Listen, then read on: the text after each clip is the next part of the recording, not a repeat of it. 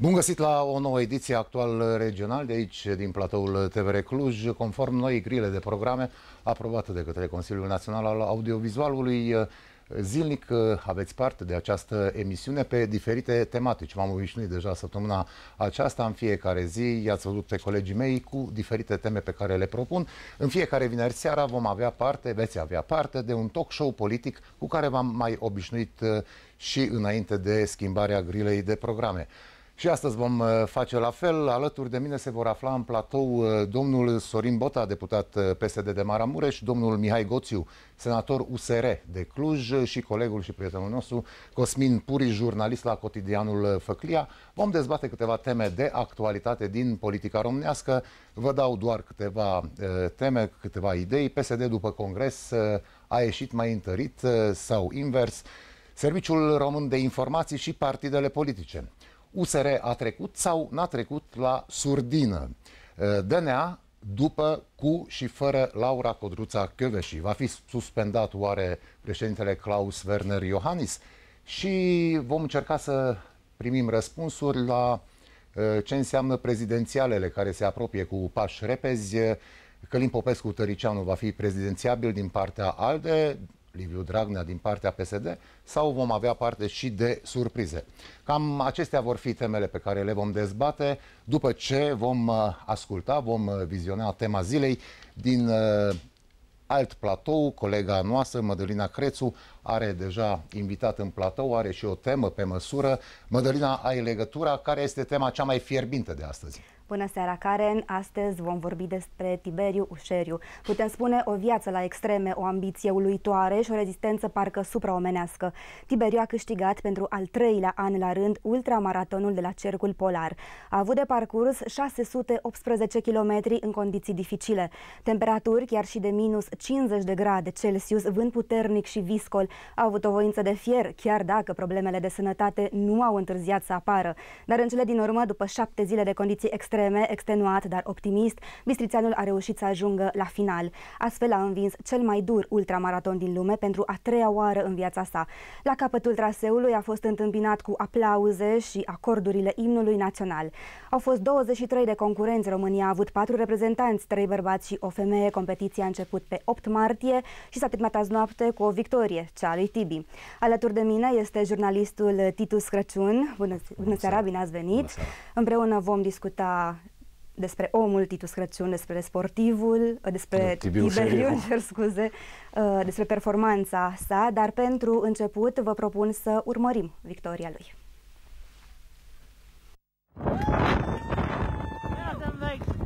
Am terminat. Tibi Ușeriu a terminat din nou ultramaratonul primul, pentru al treilea an consecutiv și la mare distanță de următorul concurent, o cursă ucigătoare cu final fericit.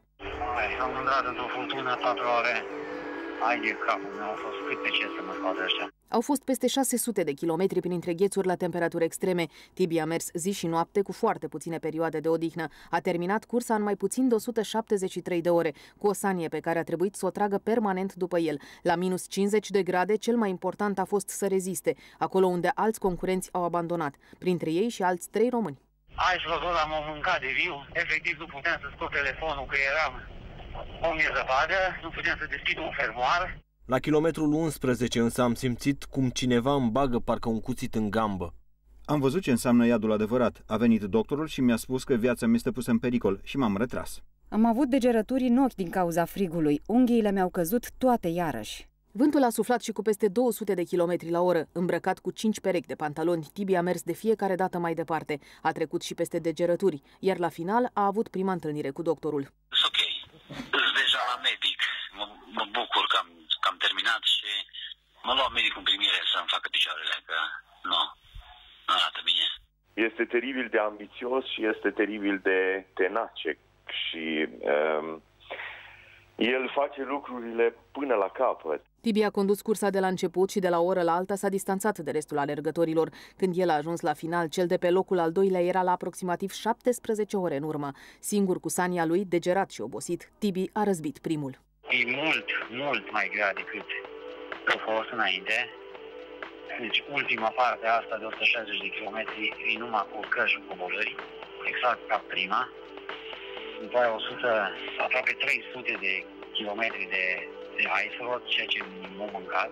Eu sunt foarte îngrijorat când el este acolo, pentru că este într-adevăr pe viață și pe moarte, reușește să uh, motiveze copiii să iasă din casă la alergare pentru că își doresc să fie ca Tibi. Mulțumesc celor care au urmărit, voi că mă suportați, sponsorilor care mă în continuare și să ne vedem cu mine acasă, cu drag.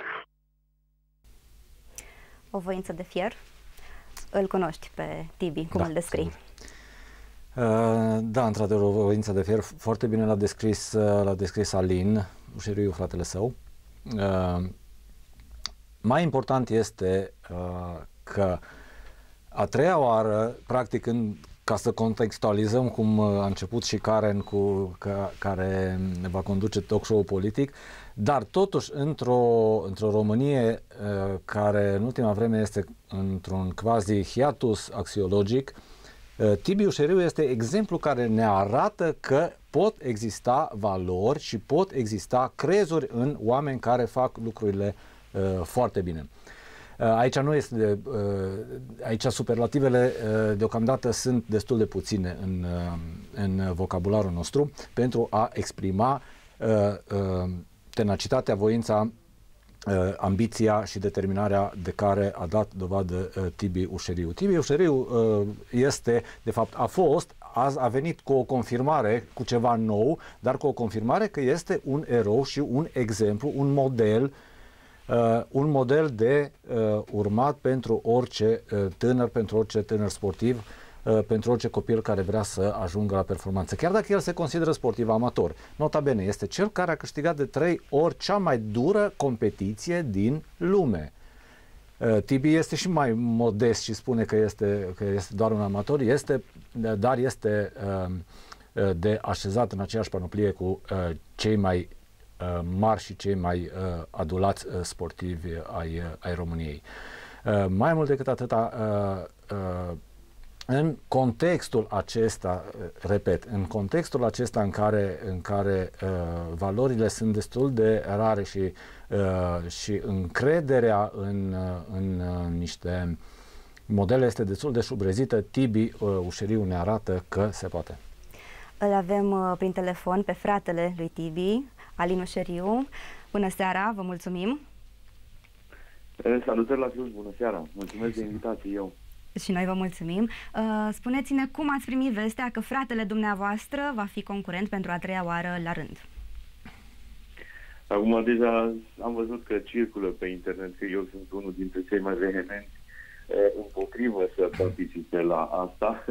Eh, Da, nu exagerez. Eh, El, a, el se sfătuiește cu mine de 44 de ani.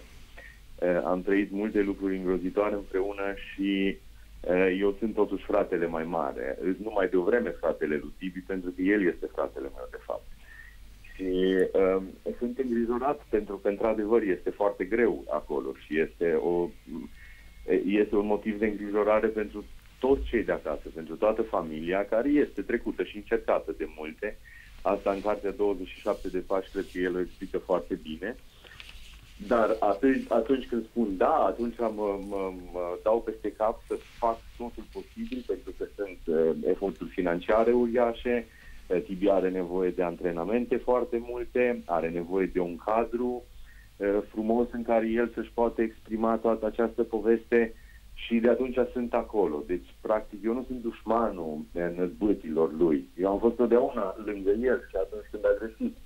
Uh, Dar uh, sunt dintre acei sfătuitori care am dorit să mai stăm puțin în armonie, să nu ne, să nu ne riscăm așa de tare. uh, De, de cealaltă parte, trebuie să vă spun și uh, ca să pot să explic până la capăt, îmi dau seama atunci când eu am văzut atât de multă lume în această arenă pe care a creat-o Tibi, încât și dacă puțin, el zice, și dacă un om își schimbă viața din cauza mea, atunci cred că târgul este foarte clar. Trebuie să-l susținem pe Tibi și cred că asta este cea mai importantă lecție. Ori este o arenă uriașă. Acum, eh, știți cum este, acum 2000 de ani oamenii se duceau și se omorau eh, și noi eh, și oamenii priveau cu atenție, vorbesc de gladiatori, era tot o arenă.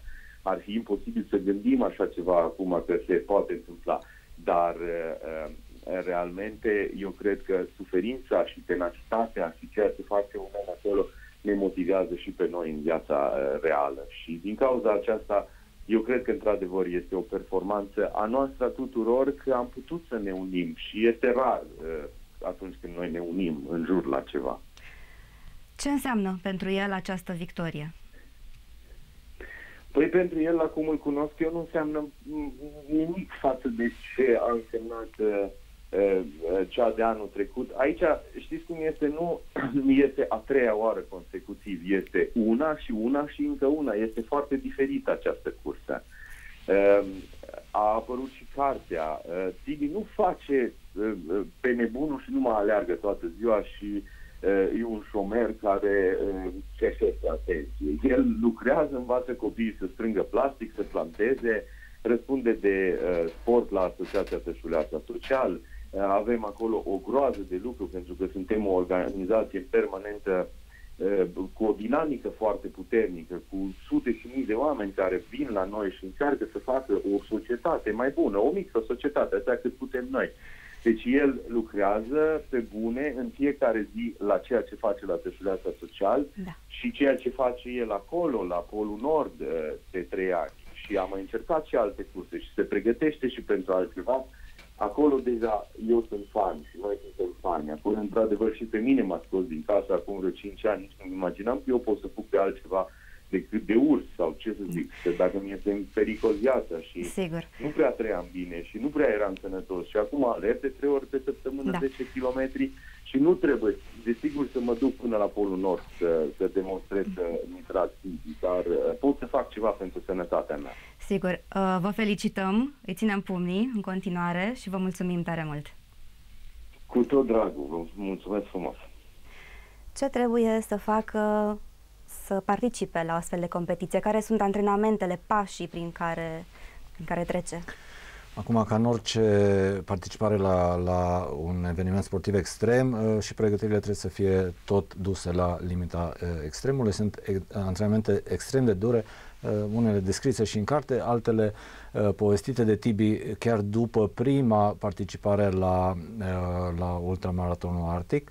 Uh, cu uh, dormit în, uh, în zăpadă, cu antrenarea corpului la temperaturi extrem de joase, pe lângă antrenamentele fizice, este o, o aclimatizare, să-i spunem așa între ghilimele, o obișnuință a corpului cu temperaturile, cu temperaturile scăzute.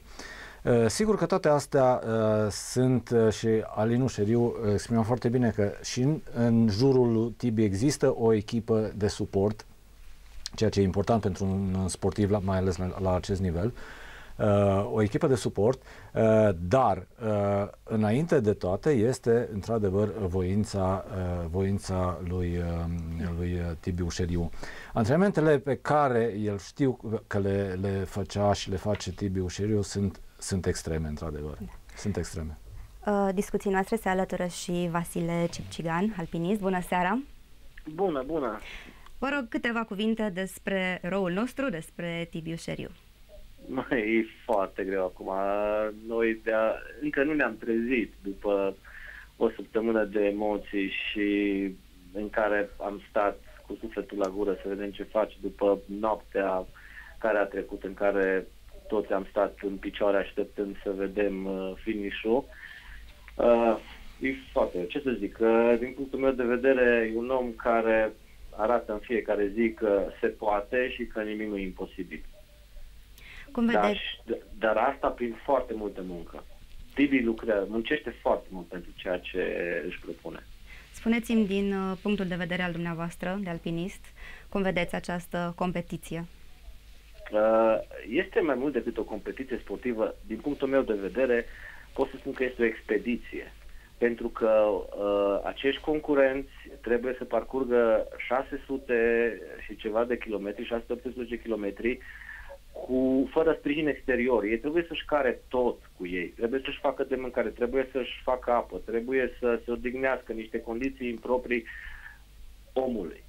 Uh, omul nu trăiește în, în asemenea condiții. Ei trăiesc o săptămână acolo. Tibi a trăit o săptămână înmulțit cu trei, deci vă dați seama prin ce a trecut. Uh, dacă vreți să vă povestesc ce înseamnă să facă apă doar un efort extrem, extrem. Trebuie să adune zăpadă, trebuie să topească zăpada, trebuie să aștepte să se răcească, să poată să bea apa. Uh, poate se defectează echipamentul, dar na, asta depinde de el și el s-a pregătit foarte mult și în ceea ce privește echipamentul, deci anul ăsta n-am avut probleme.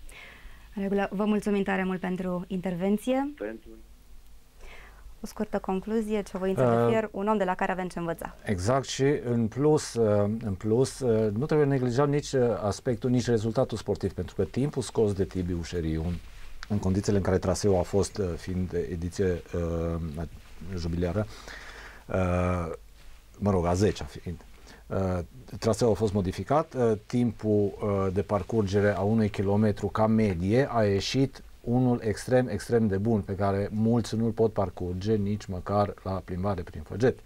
Deci și rezultatul sportiv al lui Tibiu Șeriu este unul pe măsură. Vă mulțumesc tare mult, îl felicităm și noi încă o dată. Karen, înapoi la tine. Mulțumim uh, foarte mult uh, și noi uh, cu respect față de tot ce s-a întâmplat, de tot ce ați povestit în platou. Mulțumim foarte mult, a fost alături de noi Madalina Crețu, cu tema zilei. Am revenit în uh, platou uh, actual regional, talk show politic, vineri seara, de acum încolo, în fiecare vineri seara, uh, să știți despre acest talk show politic. Alături de mine, domnul deputat PSD de Maramureș, Sorin Bota. Bună seara, domnule Bună deputat. Bună seara, bine v-am regăsit. Domnul Mihai Goțiu, senator din partea USR. Bună seara, bine ați venit. Bună seara și bine v-am regăsit. Și colegul și prietenul nostru, Cosmin Puriș, jurnalist la cotidianul Făclia de Cluj. Bine ai venit! Bună seara, mulțumesc pentru invitație! Începem noi doi cu permisiunea ta, Cosmine. Dacă ar trebui să luăm așa pe rând, foarte pe scurt, evenimentele, știrile acestei săptămâni, care se va încheia peste câteva ore bune, care ar fi primele trei? Un top 3 de știri pe care ni le dai. La nivel național. Și la nivel național, dar și la nivel de Cluj, bineînțeles, pentru că suntem, ne aflăm la TVR Cluj. Păi, cu siguranță, știrea care a capacitat uh, uh, foarte puternic opinia publică a fost uh, inter, acea, acel interviu uh, făcut de maestru Ion Cristoiu cu uh, fostul membru al uh, Comisiei de Supraveghere a SRI, uh, deputatul uh, Sebastian Ghiță. Sebastian Ghiță. Uh, apoi avem uh, o altă știre foarte importantă uh, legată de uh, acea fuziune a OTP Bank cu uh, Banca Românească, fuziune care a fost respinsă de Banca Națională pe plan economic, și plasa acest subiect. Uh, și am mai avut uh, pe plan politic... Uh, și poate local? La nivel local... Uh, am avut ceva care să fie răsunător? Acea, acel scandal creat în jurul uh, intenției de, uh, Ministerului Turismului de a prelua sala polivalentă și stadionul Cluj Arena, care până la urmă s-a dovedit a fi un fake news de zile mari, pentru că a venit astăzi Ministerul Tineretului și a spus că nu are în intenție așa ceva Ministerul și... Tineretului și Sportului, da? da? Nu are intenție și uh, nu s-a pus niciodată problema la nivelul Ministerului să se facă o astfel de uh, preluare Am de înțeles. Ieri, 15 martie, a fost ziua maghiarilor de pretutindeni. Am înțeles că ai fost la fața locului uh, la da, sărbătorirea fost, acestui uh, eveniment la nivel de Cluj, da? Bineînțeles, un Incidente au fost? Nu au uh, fost, de data aceasta nu au fost incidente, însă ce m-a surprins că nici de data aceasta anumite grupuri și anumiți etnici maghiari nu au uh,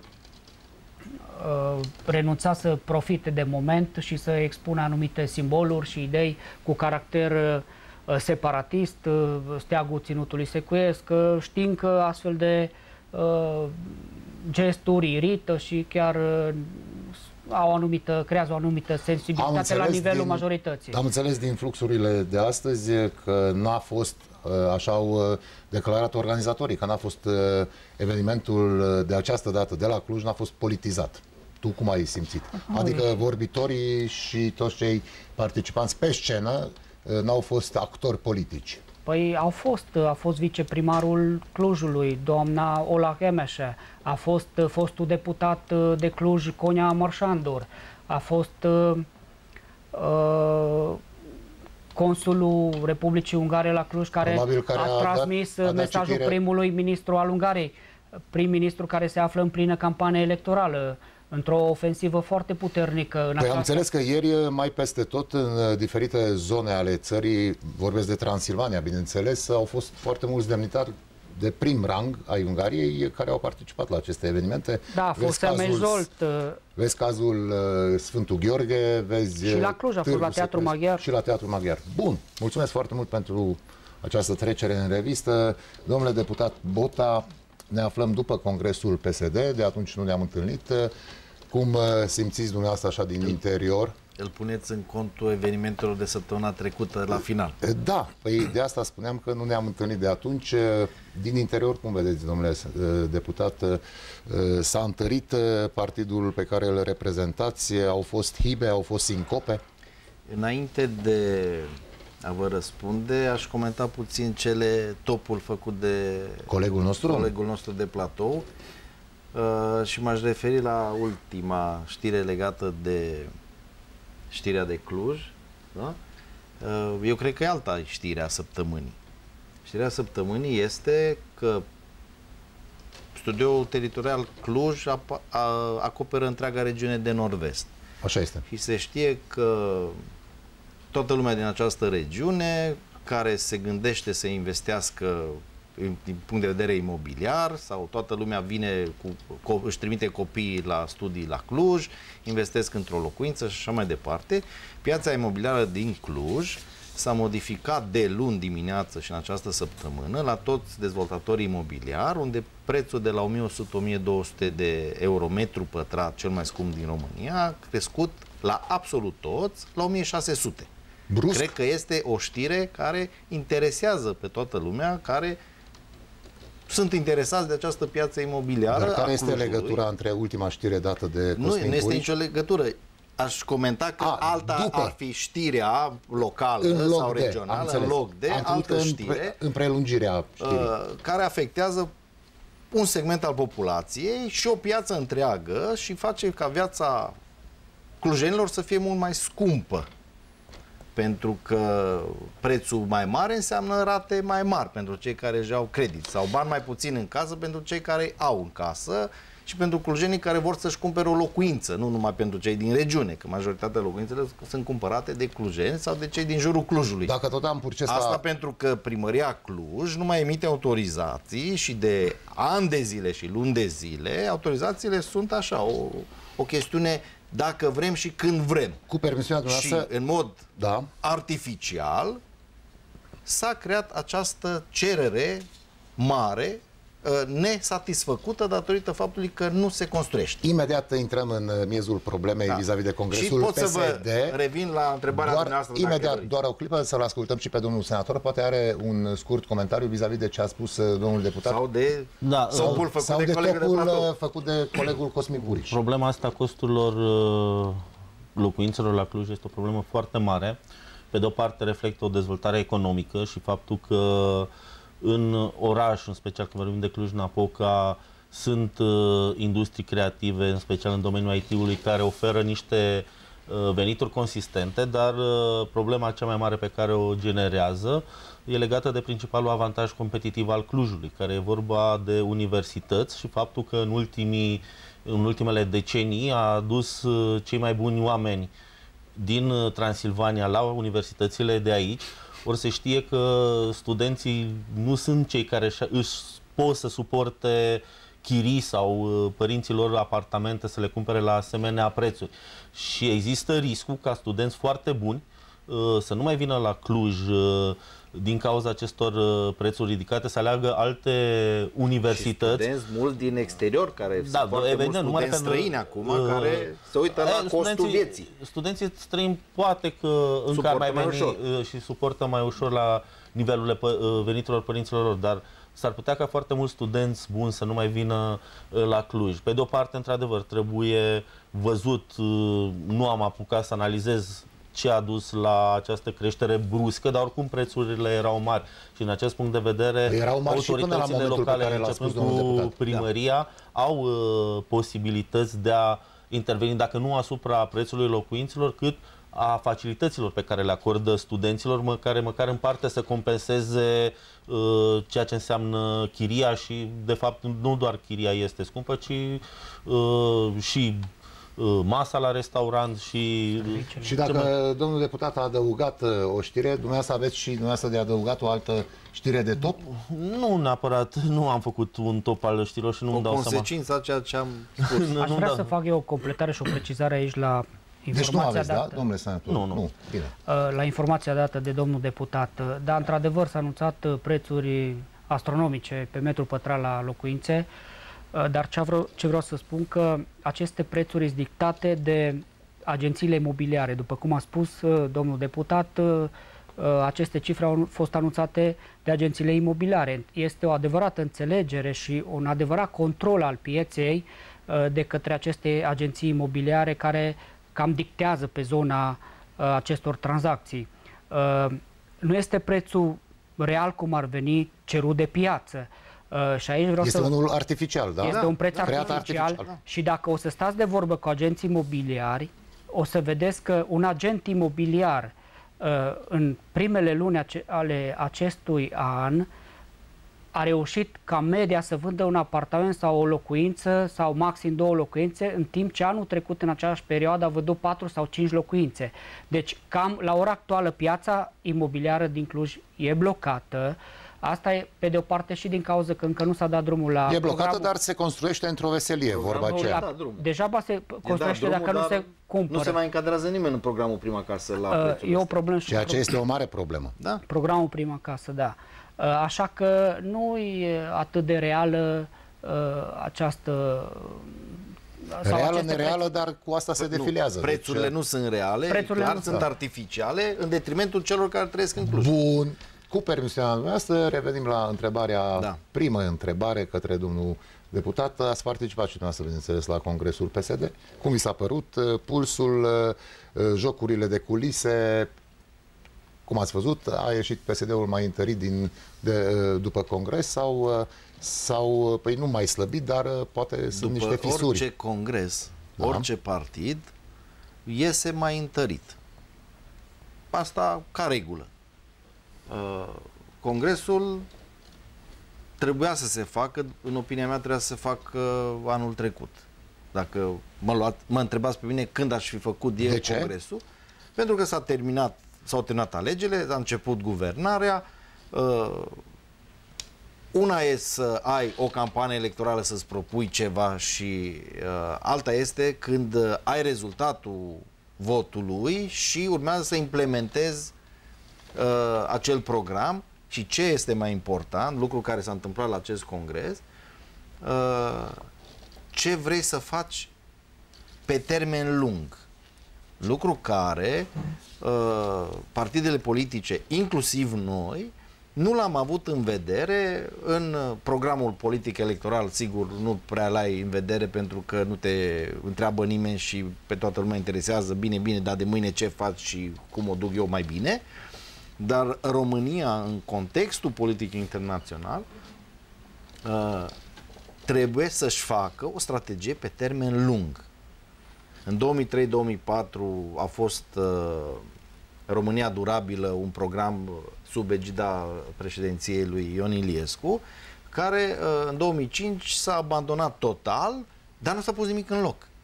Și s-a tot discutat de proiectul de țară, proiectul de țară. Proiectul de țară este unul singur, modernizarea României, întărirea păi, României. Proiectul de țară s-a mai povestit de uh, multe ori, sau Nu avem un obiectiv comisii. politic cum am avut integrarea Uniunii Europeană sau NATO. Bine, acestea Acum, erau de anvergură și erau... politic este strict de ordine economic, de uh, modernizare, de întărire a României, a imaginii României, a forței României, de negociere pe piața uh, europeană și internațională și așa mai departe. Vreți să contracarați, De reluare a lucru care am discutat uh, și până acum cred că uh, niciun alt partid n-a pus uh, în discuție subiectul uh, a piețelor strategice pe care România nu le mai are, nu le mai întreținut, le-a mai dezvoltat.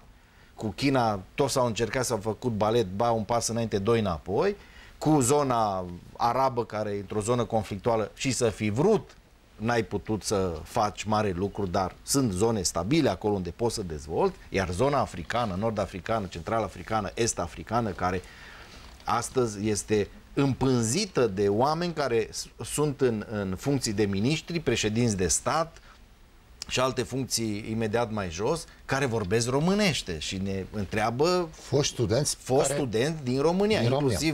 Inclusiv dacă vă amintiți, Toboșarul, primul Toboșar al compactului când s-a înființat la Cluj a fost un, uh, un cetățean din uh, fostul Zair, actualul Congo, care în urmă cu 2 ani, știu sigur, era ministrul transporturilor din Congo. Congo în care, din punct de vedere al învățământului, a fost dezvoltat acolo de profesorii români care lucrau în Zair de pe acea Ați vreme. spus la un moment dat că nu s-a pus în loc nimic. Acum s-a pus ceva, se pune ceva în uh, locul Din celor punctul care ăsta nu de s-au făcut? vedere, ne-am luat uh, ca țintă să reluăm aceste dialoguri și acest atașat economic, pe lângă ambasadorul care e uh, reprezentantul politic uh, în țara respectivă, există acel aparat economic care, după părerea mea, nu-și face treaba. Doarme. Uh, tot ce fac, fac uh, firmele de capul lor și dacă sunt din întâmplare ajutate, asta e chiar o întâmplare. Când în rest, toți își caută conexiuni directe fără să mai apeleze la, uh, la oamenii care își au un salariu bunicel în, uh, în statele respective. Domnule senator, v-ați luat uh, Este notițe. o problemă foarte importantă Am înțeles. pentru Revenim imediat, economia mai, uh, României. Văd că și-a luat notițe, Uh, domnul da, senator. sigur, sunt și alte aspecte de la Revenim Congres la ele. care le putem dezvolta, dar Cu tot am, respectul- am ținut să punctez aceste bine, aspecte foarte care, bine. în opinia mea, nu s-au prea discutat și sunt mai importante. Hai să le discutăm. Uh, Cu tot respectul, aflu lucruri noi legate de întrebarea ce s-a discutat la Congresul uh, PSD. Probabil că s-au discutat și aceste lucruri, eu nu le-am văzut nici în transmisiunile televiziunilor. Uh, Probabil că n-au, au ignorat aceste aspecte pentru că Ai, ceea sigur ce, că ceea altele ce, erau mai de cancan. Uh, Ceea ce am văzut eu a fost o reconfirmare a domnului Dragnea, un domn Dragnea care, uh, nu știu, și-a mai luat niște consilieri în plus pe imagine, pentru că din punct de vedere al construirii discursului a fost unul uh, foarte atent uh, construit, inclusiv la gestica. Am observat că și-a îmbunătățit inclusiv gestica Ați de fost atent și susținere. la aceste Da, uh, lucruri, uh, da? da, pentru că, mă rog, eu l-am mai văzut și, bănuiesc că asta e discutăm singura laudă. Uh, da, uh, dar uh, am văzut uh, o legitimare a unei poziții de putere pentru doamna Viorica Dăncilă, pentru că nu avea o astfel... uh, Prin faptul că este omul numărul 2 acum, da, în partid? da, în partid, adică i-a dat și o poziție uh, de forță uh, față de membrii guvernului. Nu știu dacă acesta este un lucru bun sau un lucru uh, rău. Uh, eu aș comenta totuși, am spus și am afirmat că în România avem uh, două modele și fără nicio legătură cu cetățenii din Cluj sau din Transilvania și cei din Telorman, dar avem un model de dezvoltare Cluj și un model de dezvoltare Telorman. Și dacă ne uităm uh, care este situația în Teleorman cu cei care au guvernat și acum guvernează și România și care este situația în Cluj, uh, nu știu dacă e într-adevăr uh, proiectul de țară pe care uh, ni-l dorim uh, acest uh, uh, proiect. Dumneavoastră, scuzați-mă, domnule senator, dumneavoastră pe persoană fizică și dumneavoastră ca și USR, ce fel de proiect de țară gândiți? Sau vedeți sau vizionați? Uh, Noi, la modul real, uh, gândim un parcurs european al uh, României și, de altfel, uh, și legile pe care, Care le este susținem și pe operațional, care... nu? Păi Poftim? Este operațional acest Nu am parcurs. spune că este chiar atât de operațional, uh, pentru că avem semnale destul de clare din partea uh, Bruselului și ni se spune, ni se transmite inclusiv din discursul domnului Dragnea că am avea mai mare nevoie de suveranitate când e vorba de uh, instituțiile justiției. Dar, uh, pe de altă parte, ni se promite un parcurs european. Nu îl vedem. uh, Dacă vrem un parcurs european, atunci trebuie să ne raportăm la toate valorile și principiile uh, din Uniunea Europeană și mă refer la Uniunea Europeană partea vestică și nu aceste, nu știu, nu direcția Polonia, Ungaria la ora actuală, nu știu dacă sunt modelul uh, european uh, pe care uh, ni-l dorim. Dar dumneavoastră vedeți o paralelă între ce se întâmplă în România și în Polonia și Ungaria? Da, da, da. Sunt uh, lucruri și aici nu mă refer la orientarea declarată a celor care conduc în Ungaria sau în Polonia, Polonia care teoretic acolo sunt de dreapta, în România ar fi de stânga, din punct de vedere al teoriei. În practică vedem faptul că se acaparează instituții în toate aceste trei țări, se încearcă un control politic al acestora, se încearcă în domeniul justiției slăbirea legislației și slăbirea cum, puterii. Cum își doresc unii să slăbească legislația? În, în domeniul legislației penale, hai să luăm ultimul proiect care a ajuns la uh, Parlament, uh, inițiat de colegul domnului Bota, domnul uh, Rădulescu, cel uh, uh conform căruia traficul uh, de influență uh, nu ar fi uh, o infracțiune dacă foloasele uh, ar fi pentru alții. Uh, și doar în cazul, uh, ar fi vorba de trafic de influență, doar în cazul foloaselor materiale, nu și a altor uh, foloase. Ori în acest punct de vedere și convențiile la care România este parte spune foarte clar că traficul de influență poate fi și pentru alte persoane și la fel și că acele foloase necuvenite pot să fie și de altă natură decât materială. Dacă un astfel de proiect va trece Uh, de Parlament, din punctul meu de vedere, legislația penală și legislația anticorupție va fi slăbită. Imediat, uh, domnul Bota, în mod sigur... A, asta nu este un model european. Am înțeles. Uh, probabil are și contraargumente. Cosmin Puriș, am auzit două poziții pe aceste teme, cu proiectul de țară, cu justiția, cu legislația pro-europeană, parcursul european. Cum mergem mai departe cu discursul, cu discuția? Deci proiectul de țară, uh, a spus domnul senator, a amintit uh, câteva elemente din acel program lansat de PSD. Într-adevăr, au adoptat o rezoluție. Mine, acum da, domnul, domnul, acum este deputat. Am fost senator. Domnule deputat, știți foarte bine, noi avem o parte. Da, să nu se com... Avem o mică mare problemă cu dumneavoastră, pentru că dumneavoastră ați rămas pentru foarte mulți jurnaliști senatori, Senator pentru că ați fost uh, foarte multă vreme. Domnul deputat Dar Dar în da. platou se creează confuzie. Da. Dar pe burtiera uh, apare foarte... Într-adevăr, PSD-ul a adoptat la Congres acea rezoluție România 2040 se numește, în care și-a trasat câteva linii pe... Pe termen lung. Termen lung, pe direcții economice, sociale, învățământ. Și am invitat la dialog toată uh, societatea uh, românească și toate partidele pe acest subiect. Într-adevăr, în ceea ce privește proiectul de țară, prioritățile României ar trebui să fie în continuare aderarea la spațiul Schengen, ridicarea MCV-ului și aderarea la zona euro pe care Astea au fixat-o pentru scurt, anul ăsta. Pe care au fixat-o pentru Intrăm în Schengen anul ăsta 2020, aderăm la euro 2024.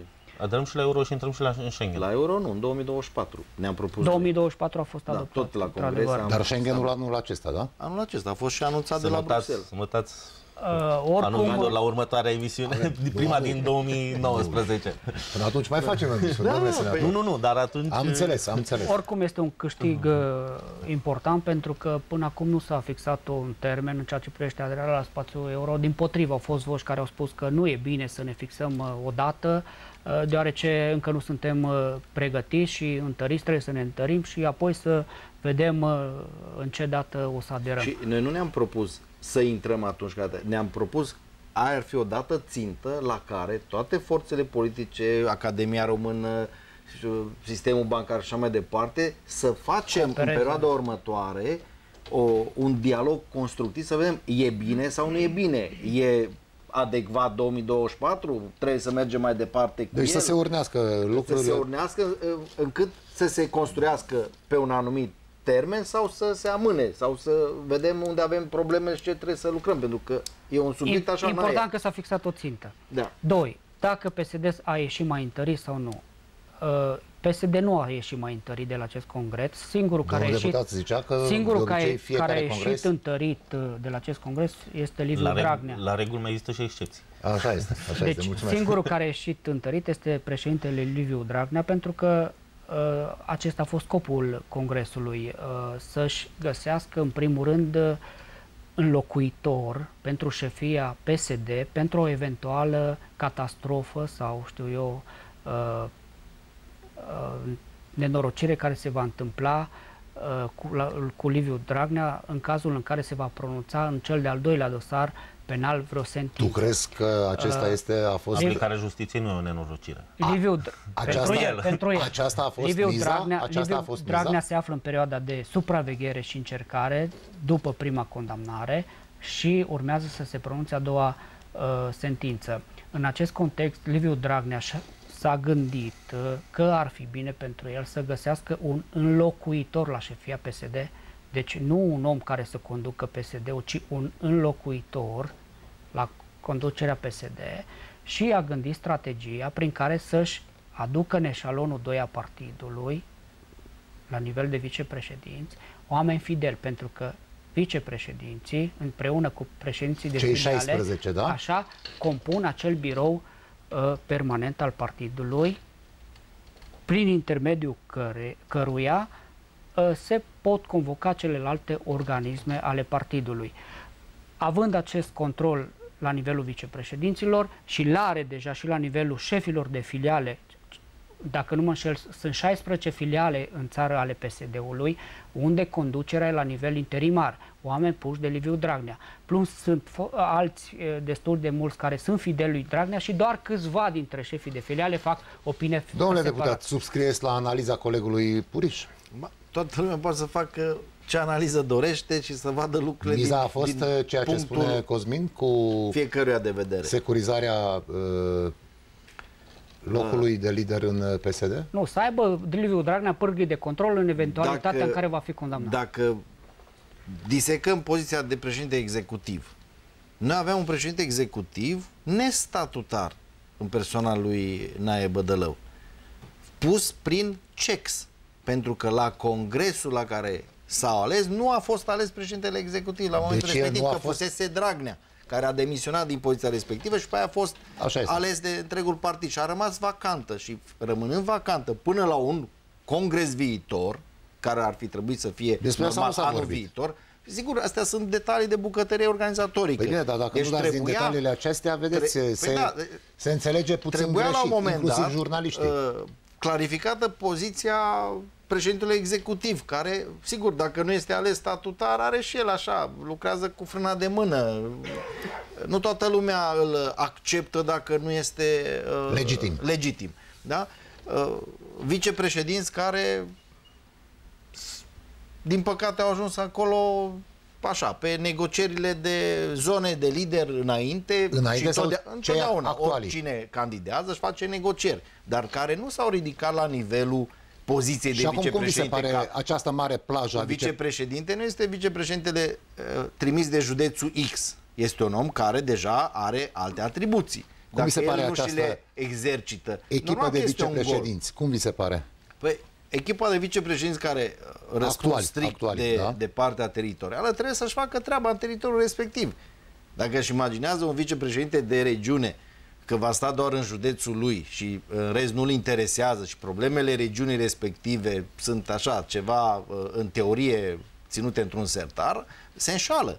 Va fi uh, urgent sancționat de- USR-ul de are partid. acest aparat Asta e de o bucătărie vicepreședinți. internă de Am organizarea înțeles. noastră. Aveți acest aparat de Nu, Noi avem vicepreședinți? un alt uh, sistem, doar o scurtă completare. Acum, într-adevăr, pentru posturile de vicepreședinți n-au mai fost așa multe negocieri, că practic au fost vreo două filiale unde au fost, Da, au fost în concurență, zonă și unde a fost concurență Dacă au fost mai mulți să candeze, au pe condamnat, nu. post, în rest uh, s-a mers la sigur cu candidații care au fost. Au fost și supărări acolo la Uh, congres. USR-ul are un alt tip de uh, conducere, un birou național uh, care se ocupă de partea executivă și care a fost ales uh, la congres și un uh, comitet politic cu puteri mai mari, dar care nu, evident nu se poate... Toate funcțiile într-un- acoperite legitim la dumneavoastră? Da. Aici vreau să Au ajung. avut congres. Da, au am avut, dar... uh, recent. Am avut congres, uh, au fost aleși membrii biroului național, uh, mem- uh, comitetul politic e format, uh, uh, avem o altfel de structură, e format înțeles. din uh, reprezentanții filialelor județene, deci reprezentanții ai partidului, membrii biroului național, reprezentanți în mare parte ai uh, partidului, parlamentari și aleși unde avem consilieri din București, adică reprezentanții cetățenilor. Am înțeles. Uh, și aici e noutatea pe care o aduce USR-ul, pentru că în acest comitet politic, care după congresie are cele mai importante atribuții, uh, reprezentanții cetățenilor, adică parlamentarii... Ne-am făcut o idee, gata, uh, am înțeles. Consiliul Național. Uh, da, dar uh, avem atribuții mult mai mari decât, uh, au atribuții mai importante decât Biroul Național, deci practic este o cenzură a unor uh, eventuale interese de partid uh, când intră câteodată s-ar putea să intre Am în înțeles și cu- mulțumesc că ne-ați descris așa acest aparat. Eh, Cu permisiunea dumneavoastră trecem la a doua temă pe care ne-am propus-o astăzi. Eh, eh, Serviciul Român de Informații și partidele politice, Serviciul Român de Informații și Guvernul eh, României eh, a făcut referire la un moment dat eh, Cosmin Puriș la această eh, temă. Cum vi se pare toată această dezbatere care pe zi ce trece se accentuează, domnule deputat? Eu. Întotdeauna, să spunem așa, la 10 ani, există în orice instituție, cu atât mai mult în, uh, în cele ale serviciilor, schimburi de generații. Și în partid există schimburi de generații cam la 20 de ani. Încep, uh, începe o presiune din partea generației noi asupra generației vechi și așa mai departe. Și acolo se Dumneavoastră ați întâmplă... trecut deja prin uh, treaba aceasta. Am trecut odată. USR-ul mai are de așteptat. Eu cu personal am trecut odată, Da. da. fiind în generația tânără, acum sunt Am în generația de mijloc. seniorilor, aproape seniorilor. Urmează să fiu în cealaltă. Uh, și acolo se întâmplă același lucru. Și acolo sunt oameni care au viziuni diferite, mentalități diferite, unii mai adaptați la ceea ce s- evoluează societatea și România. Vorbiți și de pe- cei din SRI, da? Vorbim, da, dintr-o instituție de servicii, uh, care își propun probabil să lucreze altfel, unii care, uh, eu am o părere deja formată și, uh, din punctul meu de vedere, uh, cei care au un orizont de activitate scurt și sunt înainte de pensie, au un anumit set de priorități.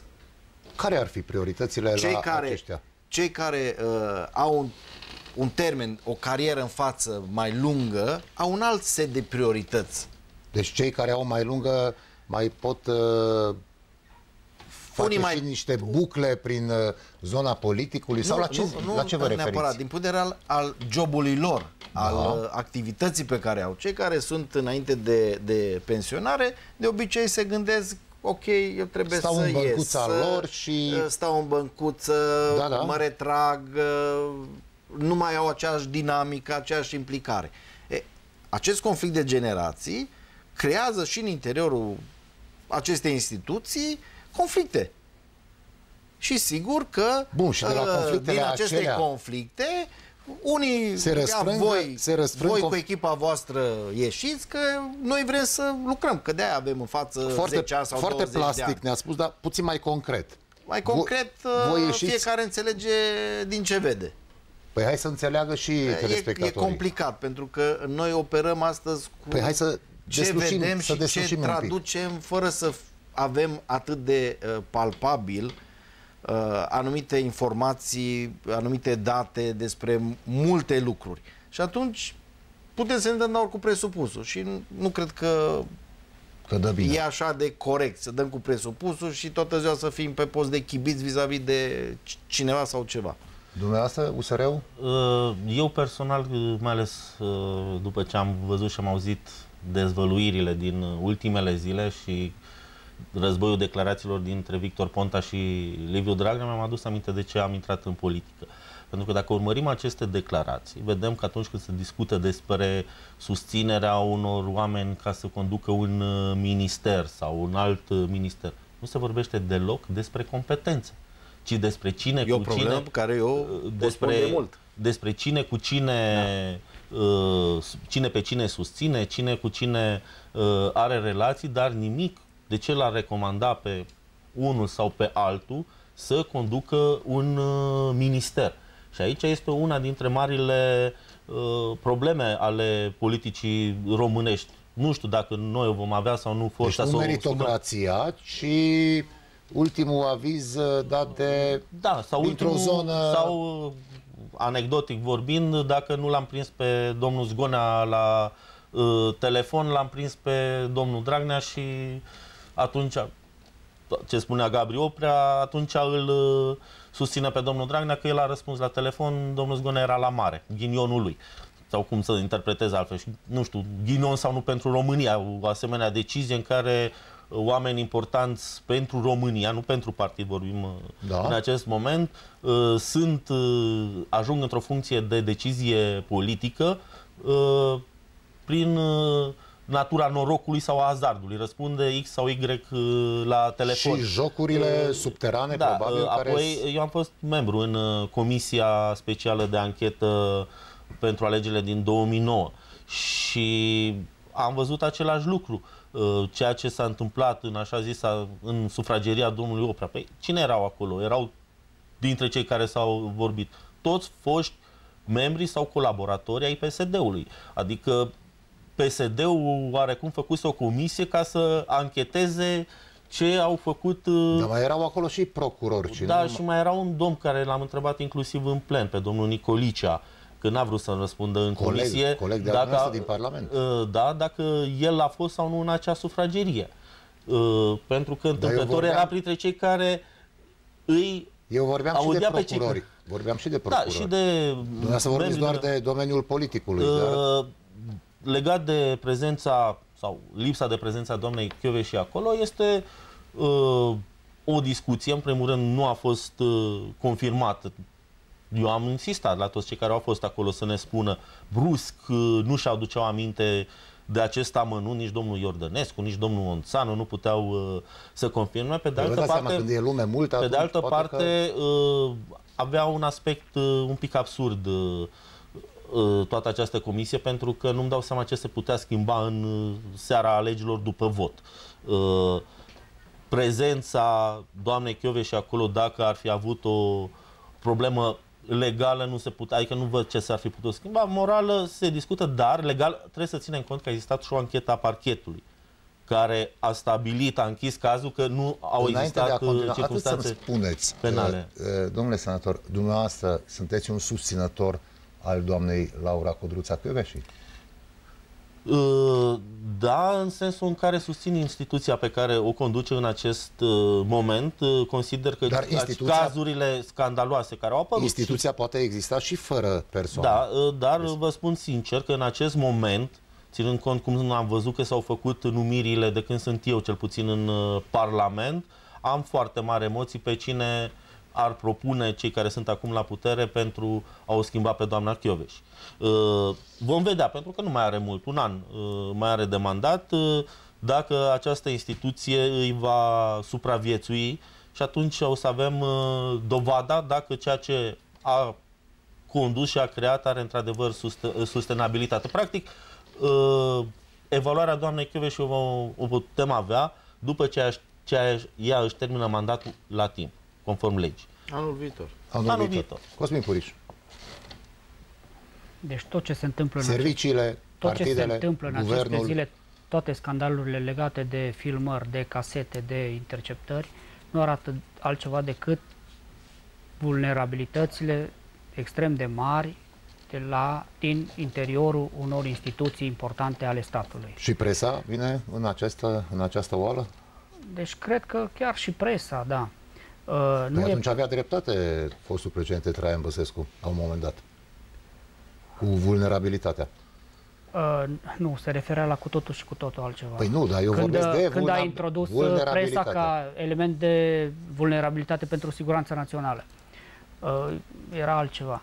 Uh, deci ce se întâmplă? Nu-i normal. Deci nu-i normal ca un șef de instituție atât de importantă să se expună cu tot felul de aventurieri pe care cunoaște sau uh, mai mult sau mai puțin. De care șef de instituție pomenești tu acum? Instituții importante Suntem ale statului român. Noi putem discuta. Poate fi și DNA, poate fi și SRI, poate fi și SIE. Poate... La SIE nu, se pu... nu e cazul că nu avem șef, de nu știu când uh, uh instituția e condusă la nivel interimar. Așa, SPP, uh, de sunt instituții strategice ale statului român uh, și în virtutea acestui fapt, nu-i permis ca șefului instituției să se expună oriunde și oricând și cu oricine. Uh, asta odată. Uh, pe de altă parte, uh, se pune problema cât au influențat acest, discuția din aceste zile este dacă au influențat uh, aceste instituții, factorii, aceste instituții, factorii politici. Au, cred că problema au influențat? Nu, cred că problema ar trebui pusă invers. Cât de mult a influențat Politicul? și a controlat politicul aceste instituții uh, uh, care ar trebui să fie A controlat, a influențat, domnule deputat? E greu, e greu de spus pentru că nu avem un adevăr care să-l comentăm e încă, încă prea devreme să tragem concluzii și să, să spunem că e albă sau neagră sau cât a fost rău și cât a fost bine. În orice caz, uh, a spus foarte corect că arată vulnerabilitățile statului român. Statul prin toate instituțiile. Nefuncționarea corectă și constituțională a instituțiilor statului uneori sunt prea interdependente, alteori uh, nu sunt echilibrate, alteori se canibalizează de la caz la caz una pe cealaltă. Uh, încă, în concluzie, putem să spunem, dacă vrem să tragem și o concluzie, Foarte bine încă faceți. democrația noastră este uh, la început. Fragilă. Fragilă. Fragilă. Fragilă. Că la început a fost, uh, a trecut începutul, a rămas fragilă. Și cât mai rămâne tot așa fragilă? Păi nu știu, dar uh, chiar trebuie să, să depășim acest moment și să funcționăm după Constituția care o avem, dacă o putem îmbunătăți, o îmbunătățim și să fim un stat mai puțin fragil. Uh, un stat uh, mai puțin fragil începe de la delimitarea clară a atribuțiilor uh, serviciilor uh, secrete de politică, de presă, de afaceri. Uh, Chiar lucrez cu un uh, coleg, am discutat și pregătim o lege, nu știu dacă în această sesiune sau în sesiunea următoare, prin care, așa cum uh, agenților din serviciile secrete le este interzis să fie în magistratură, să le fie interzis uh, să activeze în presă și în uh, uh, în domeniul afacerilor. În domeniul afacerilor, pentru că de aici avem foarte mari probleme când toate aceste lucruri se întrepătrund și nu mai știm uh, care este rolul fiecăruia și atribuțiile fiecărui dintre aceste atribuții. Și depuneți Cine această conduce? inițiativă? Da, da, da, vom depune această uh, inițiativă. E vorba doar de uh, o prioritizare a proiectelor de legi la care uh, lucrăm în acest moment, când uh, avem timp să o documentăm mai bine, pentru că nu să nu fie doar o lege declarativă, cum, sunt, cum e în acest uh, moment în cazul magistraților, ci chiar să existe și un mecanism uh, de control uh, pe cât posibil ca acest lucru să nu se mai întâmple. Ați pomenit de prioritizare. Care, m-ar interesa, care ar fi prioritatea acum la USR vis-a-vis de legi, vis-a-vis de inițiative? Sunt multe priorități pentru că suntem uh, uh, încă puțini în uh, Parlament și trebuie să acoperim fiecare mai multe domenii. Evident, o prioritate zero este schimbarea și uh, legislației electorale, începând cu primarii în, uh, aleși în două tururi de scrutin. Este un lucru esențial pentru uh, democrație, deși uh, avem o problemă mare și o rezistență mare uh, legată de, din partea coaliției la putere legată de această modificare legislativă. Am solicitat de altfel reînființarea Comisiei Speciale de Cod Electoral, pentru că vin alegerile din uh, 2020 în special și ne vom uh, trezi că toate aceste modificări trebuie să le facem cu cel puțin un an înainte. Deci, și totuși s-a refuzat, deși am depus cerere pentru reînființarea acestei Comisii Speciale de Cod Electoral în condițiile în care oricum uh, reprezentanții PSD și ALDE ar fi avut majoritatea în aceste comisii. Deci nu era o problemă că le facem ca... Asta ar fi una dintre uh, priorități. Uh, vine codul administrativ și uh, vom uh, veni probabil cu multe amendamente legate de uh, acest cod administrativ. Uh, vă pot spune și personal pentru că se știe că eu activez mult în uh, domeniul mediului. Uh, E vorba de o inițiativă legislativă pe care vreau să o depun uh, până la sfârșitul uh, acestei, până la sfârșitul acestei sesiuni. E vorba de interzicerea tăierilor în parcurile naționale. În luna mai am planificat o vizită de documentare în parcuri naționale din Austria și Germania pentru a vedea și a venit și cu niște modele de bune practici pe viu, cum Vă se susțin. întâmplă uh, acolo. Mă bucur. Aveți un uh, Sper să fie o susținere Eu transpartinică pentru această... mea cu reducerea masele noastre cu, și tăierea cu, pe picior. Cu atât mai mult cu că și noi am... din păcate, da, da. Nu cu atât mai mult cu că și noi am susținut uh, pachetul legislativ uh, privind legea muntelui, uh, susținerea zonelor uh, moderne defavorizate uh, și unde chiar mi-aș dori un mai, mult, un mai mare uh, dialog pe această temă, pentru că sunt îmbunătățiri care pot fi aduse și cred că n-ar fi trebuit să fie chiar în regim uh, de urgență trecută acest Din pachet uh, legislativ. nou v-am întrebat înainte de a intra în emisie, văd uh, insigna cu hashtag rezist. Uh, în ultima perioadă, vă rog să mă uh, contraziceți dacă nu este așa, în ultima perioadă am observat, nu numai eu, mai mulți jurnaliști, așa o retragere o surdină la USR, parcă nu sunteți atât de vocali cum ați fost acum luni bune. Da. luni? Nu, nu sunt chiar atâtea luni bune, au fost doar uh, decembrie. Ați obosit? Nu, nu, nu am, uh, ați, uh, uh, nu am obosit deloc. Uh, Ați pus uh, arma jos? Nu știu, nu, deci ceva s-a uh, întâmplat. De altfel, uh, Cosmin, n-ai observat și tu astăzi că... pot să dau o știre de astăzi, faptul că uh, Uh, avizul uh, Consiliului Legislativ a fost pozitiv pe uh, propunerea pe care a preluat-o societatea civilă și o duce mai departe cu fără penali în funcții publice și va începe strângerea de semnături pe acest proiect de lege. Săptămâna viitoare, chiar acum vin de la documentare și mă întorc înapoi, pregătim o contestație la Curtea Constituțională pe una dintre legile de mediu care cel mai probabil va fi votată săptămâna viitoare, cea care permite uh, schimbarea conturilor arilor naturale protejate pentru uh, Dar acele, exploatări.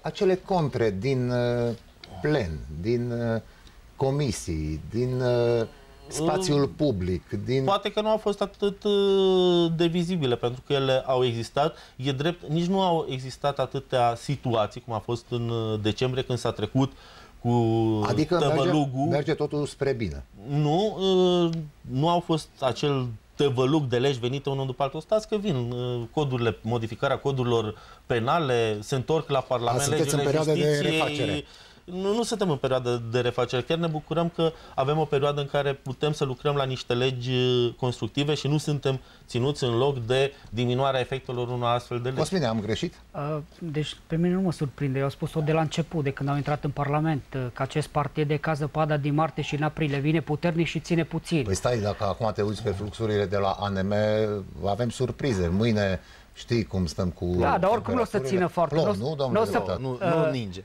Dar vine, vine și ninsoarea. Care oricum nu o să putem schia din nou pe feleac. Da, așa e. Deci, dar, așa este. dar din fericire, cel puțin în sondaje făcute nu de noi, ci chiar de institute apropiate PSD-ului, suntem pe creștere. Pe creștere? Da. Apropo, sunteți și dumneavoastră pe creștere sau în scădere? Stagnăm. Stagnați? E bine sau... De când? Stagnăm. Dar acum vorbesc la bine, domnul și, senator și e bine, vorbea e bine punctual după, de câteva case din după acestea primul an de, de guvernare în care ne-am propus și am lansat uh, proiecte majore cu modificări care sunt greu de digerat sau greu de, de înțeles și greu de aplicat.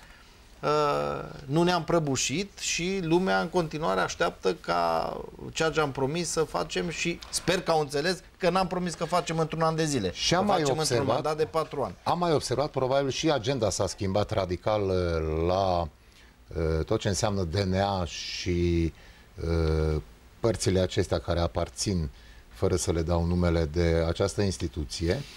Și acolo s-au mai așezat cât de cât lucrurile. Bine, doamna Laura Codruța și are problemele dânsei cu, cu discuțiile pe care le-a purtat și le, le va purta probabil și cu președintele Claus Iohannis și acolo parcă, parcă stagnează acele, acele episoade foarte, foarte agresive pe care le-am văzut la televizor, ca tot omul. Dumneavoastră n-ați observat la fel? pe acele episoade agresive văzute la televizor, în opinia mea, n-ar trebui să se vadă la televizor. Asta nu înseamnă că nu se pot desfășura. Dar telejustiția Dar acum ați observat nu și dumneavoastră, nu așa o, o uh, acalmie. Calea normală. Nu? Este da? o acalmie așa. În... Uh, directiva europeană este foarte clară și noi chiar am uh, trecut la implementarea ei. Pentru că în aprilie este termen final. Va fi revocat, de Laura implementare cu Codruța. privire la prezumția de nevinovăție și în momentul în Am care înțeles. în România ți-a bătut o instituție a statului la poartă, deja ești terminat. Își va din termina punct de vedere al mandatul la imaginii. termen doamna Laura Codruța Căveși? La anul.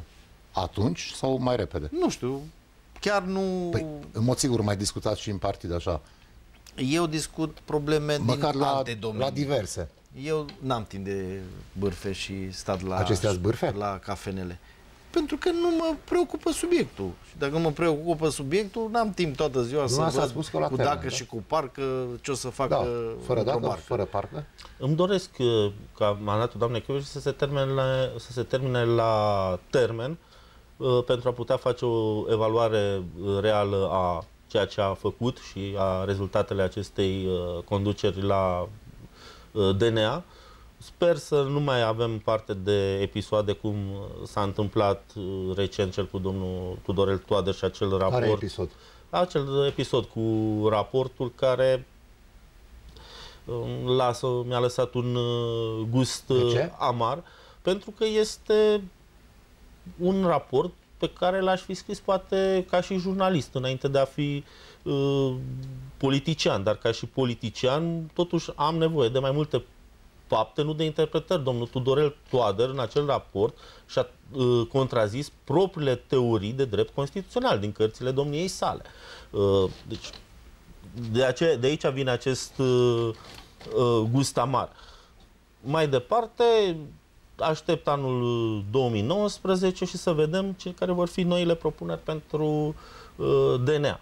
Uh, Problema, Între e, timp, problema, la- problema este mare în sistem, că nu e vorba, noi ne tot uităm la șefia DNA, la cazurile care se mediatizează, dar uh, este o lege care uh, le oferă magistraților, procurorilor, în special posibilitatea de a se pensiona uh, foarte repede cu un salariu chiar mai, cu, un- cu o pensie chiar mai mare decât uh, salariu. S-a golit uh, sistemul de magistrați și de judecători. Înțeleg că acum s-au Acum se deblocat, fac- s-au deblocat uh, foarte niște multe posturi. posturi, dar Nu atenție, niște, vor fi foarte multe. uh, uh, parcă 140, sau ceva de genul acesta, dar nu, nu, nu Un știu număr dacă consistent. E, e un număr consistent, dar atenție, până când acești oameni vor avea experiență necesară, mai trebuie să treacă Așa un este. pic, un pic. Și aici este, este o mare problemă sistemică faptul că s-a ajuns în această situație. Nu a fost gândită o perioadă prin care uh, să se poată face o asemenea înlocuire organică. Asta Domnul este, uh, Cosmin a- a- Turiș. o asemenea schimbare în sistem este, ar putea să Am avem... văzut pe uh, numai să privirea termin. ta- da? Uh, S-ar putea să aibă consecințe mult mai grave decât schimbarea șefului DNA. Am înțeles. Uh, legat de șefa DNA și acele abateri Și surprise poate de mai adaugi un ministrul pic și Justiției. uh, situația șefului, procurorului șef DICOT, care se cere uh, cât mai repede posibil Uh, retrogradat ajungem la și Iași. Aici, da. Uh, legat de abaterile doamnei Chioveși, s-au invocat uh, 20 de abateri, nu? În raportul Ministrului Justiției. Eu nu m-aș uh, uita la toate cele 20, m-aș uita la uh, o singur aspect, și anume cel legat de încălcarea Constituției, lucru dovedit de Curtea Constituțională, dacă nu mă șel. Care? Uh, Deci, unul dintre motivele invocate de Ministrul Justiției pentru uh, demiterea doamnei Chioveși era legat de încălcarea Constituției. Asta Și- era opinia domnului Tudorel Toader. Păi da, și era luăm- invocată o luăm ca decizie bază- și era ca bază de invocată, discuție și era raportul invocată dânsului, o, Sper că nu e vorba de acea decizie de a veni sau nu la comisia de anchetă.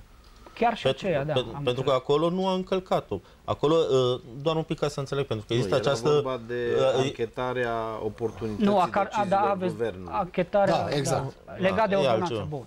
Așa, deci era clară situația stabilită de Curtea Constituțională. Bun. Uh, încălcarea Constituției este motiv de suspendare și demitere pentru președintele țării.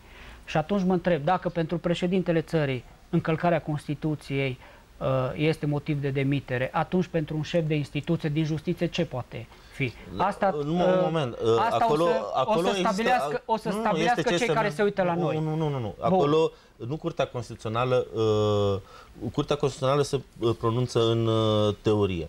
CSM-ul și Inspecția Judiciară sunt cele care decid dacă doamna Chioveși a încălcat sau nu legea sau Constituția. Doi. Uh, Știu că nu vă interesează Doi. partea aceasta, Să ter- domnule să deputat, terminăm dar cu da, justiția. părere aveți, în mod Curtea sigur. Constituțională este instituția supremă în justiție din Nu, punct de vedere nu, al nu, nu, deciziei nu, cu privire nu, la nu, încălcarea sau nu a Constituției. Punct. Pe, uh, Restul e parte de organizare. Nu, CSM-ul e cu funcționarea justiției. Nu, nu, nu. Aici e o înțelegere greșită. Curtea Constituțională se uh, pronunță asupra unor proceduri, asupra unor legi, dacă acestea încalcă sau nu. Constituția. Uh, Constituția. Da, Constituția. da. Ori uh, Și CSM-ul, CSM-ul și Inspecția Judiciară sunt cele care uh, se pronunță asupra comportamentului și activității Și dau niște magistraților. avize. Și dau uh, niște avize de care Consultative. de care trebuie să Consultative. țină sau nu din, cont. da, deocamdată nu avem aceste, adică avizul Doi. de la CSM nu a fost Uh, împotriva tot în doamnei zona Căruș. justiției. Ne-am obișnuit să ne concentrăm pe un anumit subiect și să-l dezbatem, să-l analizăm. Păi așa e în justiție, fel- Cosmine. E o speță Uh, și o... Nu? O singură speță și de data aceasta speța e doar DNA-ul. Uh, Aici vreau să spun că problemele în justiție sunt mult mai complexe și mult mai grave. Și dacă uh, vă uitați și analizați raportul de activitate al Ministerului Public, o să vedeți lucruri deosebit de grave. Din cele 1.700.000 de mii de cauze raportate la nivelul Ministerului Public și a tuturor unităților subordonate din țară, o să vedeți că aproape 600 de mii de cauze în România sunt cu autori necunoscuți. Aici sunt cauze pentru infracțiuni contra patrimoniului, contra vieții și integrității umane, uh, unde sunt o grămadă de victime care așteaptă un răspuns. Mă număr avem, printre ele. avem 600 de mii, nu, mă scuzați, avem 600 de crime cu autori necunoscuți.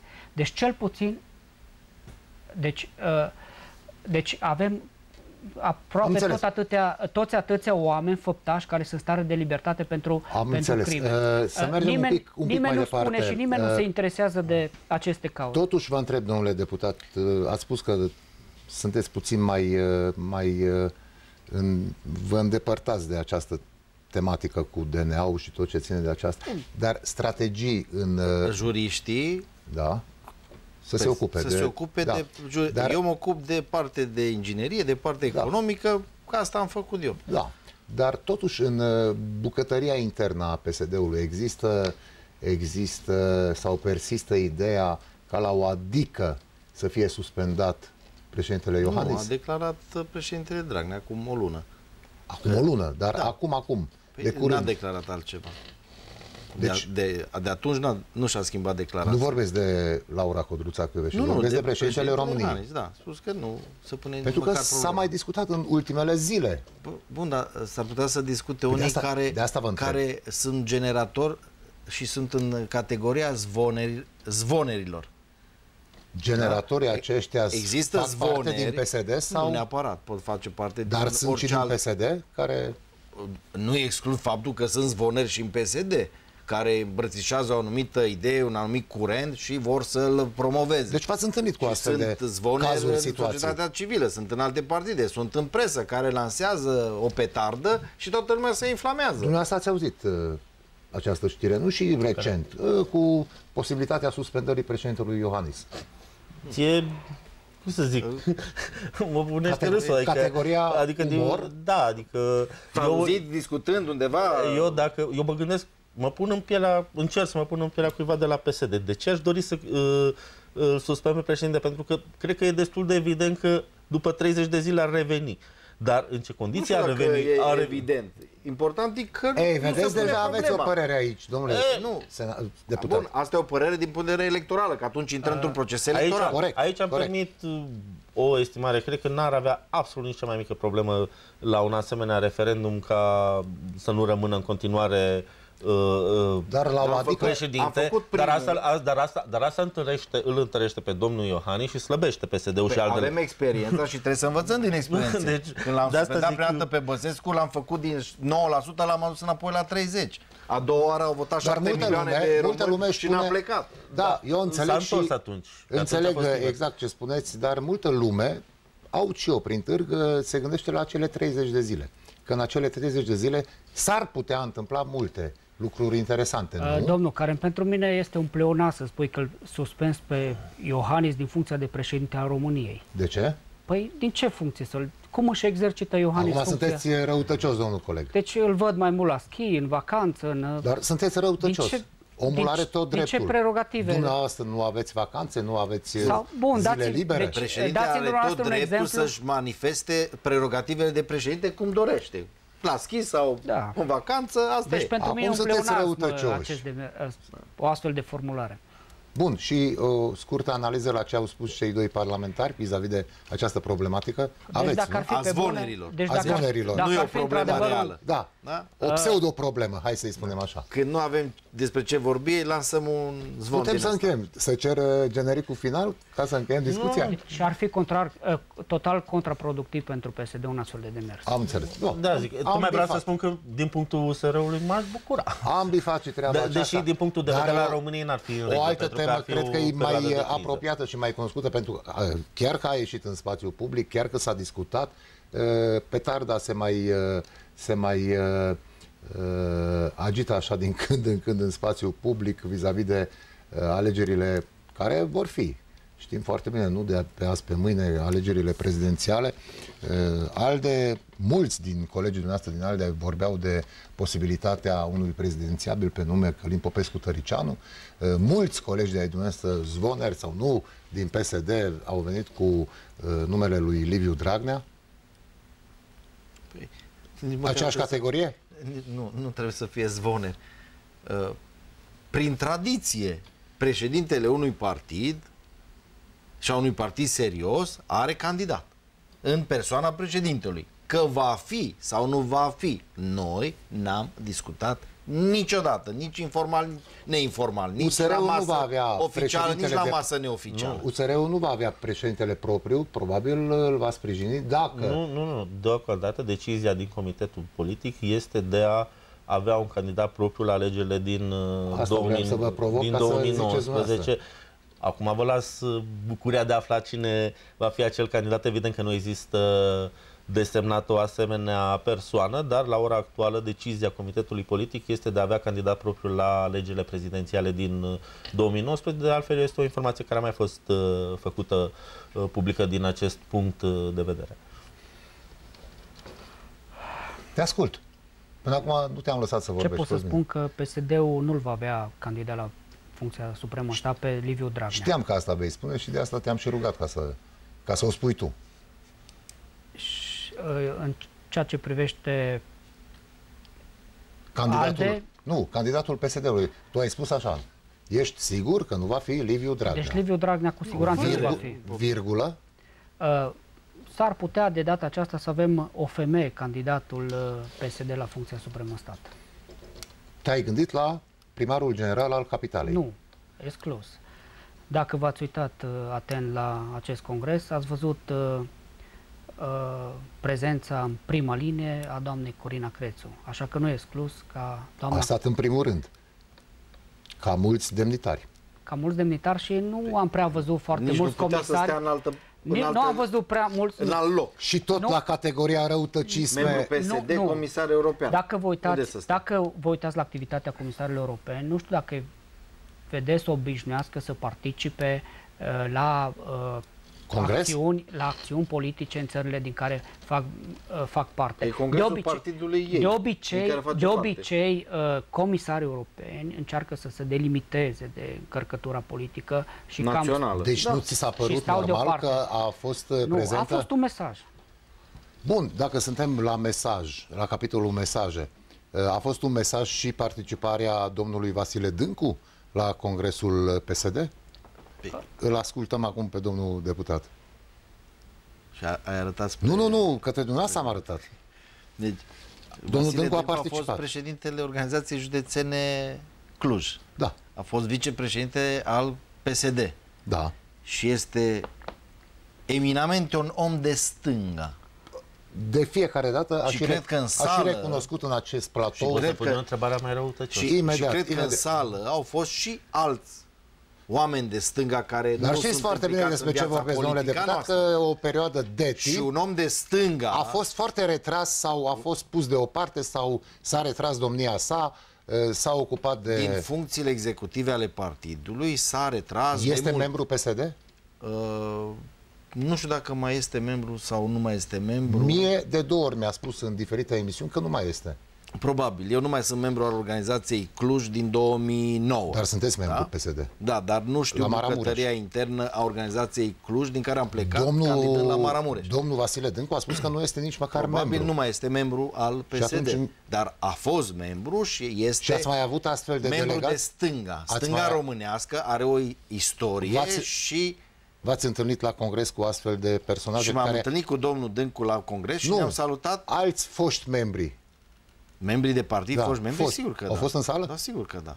Delegați da. la congres? Nu delegați, ah, doar invitați. domnul Dâncu nu a fost delegat, Invitat. n-a avut ecuson de delegat. A Da, fost invitat. răutăcismele, Nu, asta era răutăcismele întrebarea. marca Eram- Mihai Goțiu. Eram, Din nu, punct de nu, nu, vedere eram curios. sociologic a fost în sală. cel Sociologul Vasile Dâncu, din punct de vedere sociologic. Ca om de stânga, să Am vadă înțeles. cum se întâmplă, cum se Ați manifestă punctat oamenii foarte în sală bine. și așa mai departe. Deci, de fapt, era uh, pe nu, teren nu de și fapt, lucra. am spus un motiv în plus care l-a determinat să fie prezent. Eu eram doar curios cine l-a invitat pe domnul Dâncu, pentru că asta tocmai a spus la Domnul final. Bota sigur nu l-a Uh, invitat, asta așa tocmai cum s-a îl spus la simt. final că nu putea să fie delegat, că nu știam să fie delegat al uh, Nici nu a fost. uh, filialei, deci cineva trebuia să-l invite. Bănuiesc că nu a venit singur fără să fie invitat și cei Că care nu au venit... putea intra în sală dacă nu avea, nu era pe lista invitațiilor. A, Asta eram curios și cine l-a invitat. A, Bă, nu nicio surpriză, deci este foarte cunoscută, cunoscută legătura și prietenia dintre Vasile Dâncu și Liviu Dragnea. Uh, nu știu dacă vă amintiți, în 2015, la acea uh, manifestare a Partidului Social Democrat de la Cluj, înainte cu două luni de colectiv, uh, când uh, Partidul Social Democrat își căuta candidat pentru primăria Cluj-Napoca pentru alegerile din Și 2016. când uh, Liviu Dragnea a spus de pe Și scenă, de Vasile, pe scenă- contăm pe tine? Co- Nu neapărat a spus Vasile, dar a spus că Așa a spus, există la Vasile, Cluj contăm pe tine. Și în, în semn de prietenie, partidul condus de Liviu Dragnea a votat la Senat desfințarea Academiei de Științe ale Securității Naționale. Apropo că pot să spun că asta este totuși, poate, din punctul meu de vedere, uh, știrea săptămânii. Acea instituție unde domnul Dâncu, domnul Maior sunt academicieni, nu mai sunt. Adică, mă rog, depinde ce se va vota la Camera Deputaților. trainer- sunt Dar, traineri acolo. Uh, uh, depinde ce se va vota la Camera Deputaților, dar la Senat, cu o abținere și un vot împotrivă, a fost un vot covârșitor pentru desfințarea acestei instituții. Nu pot să-i spun de învățământ, că nu era de învățământ, de cercetare nu era, că nu existau niște repere care să putem spune că de cercetare, de consacrare nici atâta, chiar Ah. dacă avea o rentă egală cu cea a academicienilor din uh, Academia Română. Dar era un copil de suflet nășit de George, de uh, Gabriel Oprea și unde dincolo de Remus Pricopie care conducea informal această, sau formal de fapt această instituție, de fapt era domnul Maior, domnul Dâncu și alți uh, uh, foști miniștri și câțiva generali Stimați domn, retrageri. suntem la final, uh, ultimele secunde, am să-l rog pe Cosmin Puriș, uh, ca un uh, veritabil uh, jurnalist, să facă o concluzie scurtă la discuția de astăzi, cu ce am rămas și cu ce n-am rămas. Oricum uh, ne așteaptă o primăvară extrem de interesantă, mai ales că intrăm, Meteorologic, mai ales că ne apropiem de startul pentru, campa- pentru alegerile prezidențiale care o să fie în 2019. O să asistăm la mișcări politice interesante. Uh, Vine europarlamentarele mai repede. nu, În- în prezident- mai. în mai, în mai, Atât europarlamentare. mai mult. Uh, așa că Peste un an suntem în o să startul avem, o campaniei să avem uh, electorale. uh, foarte multe teme Domnule și deputat, subiecte. domnule senator, uh, Cosmin Puriș, mulțumesc foarte mult pentru participare, seară vă bună. mai O așteptăm seară și bună. cu alte ocazii și dumneavoastră vă mulțumim de telespectatori. Cam atât uh, pentru astăzi la prima ediție actual regional talk show politic de aici, din platoul TVR Cluj. Toate cele bune, rămâneți alături de televiziunea română. La revedere!